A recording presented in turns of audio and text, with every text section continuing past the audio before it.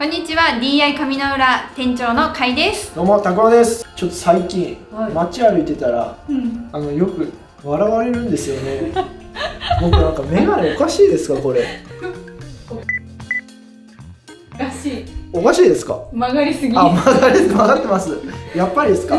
なんかすごい後ろ指刺されるなと思って最メガ近思ってネて すいませんこういった小芝居挟んじゃってでこういう時って、うん。あの眼鏡って買い替えなきゃいけないんですか？もったいないです。もったいないです。はい。はい。あのー、やっぱいいお値段するメガネなので一つのものをやっぱ長く使っていただきたいっていう気持ちは、実は私たちもあって、もちろん新しいもの新しいものっていうのにチャレンジしていただいたり購入していただくっていうこともいいんですけどやっぱりその時に買った思いだったりとかそういったことを思い出したりとかですね。なのであの一つのものを長く大事にされるっていうこともいいと思います。でここまででも曲がってしまって、はいはい、戻せるの？っていうことなんですけれども、はあの私たちプロはあのこういったフィッティングとかっていうのもしっかりとあのさせていただけますのでご安心ください。ご安心ください。えっと、結構曲がっちゃったまんまなんとなくもうかけてかけ過ごしてらっしゃる方もいらっしゃると思うので、じゃあちょっとこれをはい。一度お預かりをさせていただきます。お願いします。はい、お預かりします。じゃあ戻してきます。はいはい、では調整が終わりました。はいはじゃあかけさせていただきます。い、どうですか？ピシャリ。ピシャリ。よかったです。これで。街をこうまた自信を持って歩けるかなと思います、はい。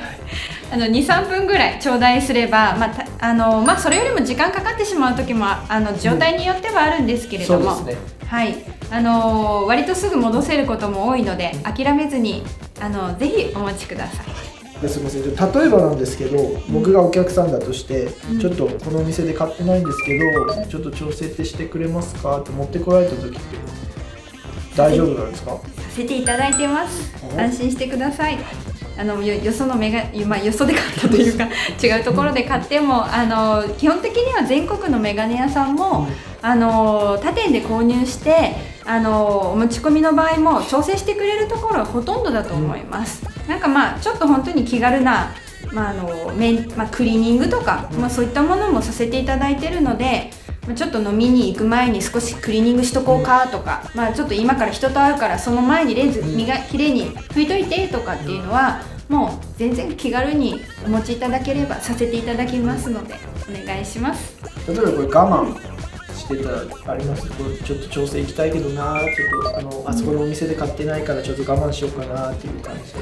我慢すると例えばそのかけてるそのレ,、はい。レンズやっぱレンズが入ってのメガネなので、斜めで見てしまうと、うん。まあ、どうしても見え方に影響しちゃうとか、うん。あとはずっとなんかこうここがこう痛いまんまとかだとそこが過敏症になって、まあ、いろんなメガネをかけてもここが痛くなっちゃうとかそういうふうなことにつながりかねない。うん。健康を害する場合っていうのもやっぱあるのでなのでそこはもう我慢するとこじゃないです。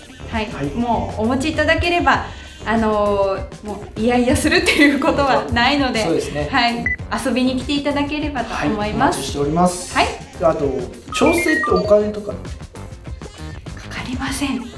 大丈夫です。うんあのーほとんどのあのメガネ店さんがあの無料でやってるところが多いと思います。調整はですねはい、例えばまあなんか壊れちゃってもうあのパーツが必要とかそういった時にはあのパーツ代っていうのを、まあ、ちょっとご提案させていただかなきゃいけない場合もあるんですけど私たちの手で直せる場合っていうのは基本的には無料でさせていただいてて、まあ、お時間もひどい曲がり具合の場合にはちょっとお預かりする場合もありますし、まあ、それもちょっとなんて言うんでしょうご相談というか、うんさせていただきながらあの、まあ、裁量の提案っていうのをさせていただきますので、はい、よろしくお願いします。はい、よろしくお願いします。じゃあ本日は調整についての動画でございました。ではもし動画よいいなと思ってくれた方はグッドボタンとチャンネル登録お願いします。はい、ではじゃあね、バイバイ。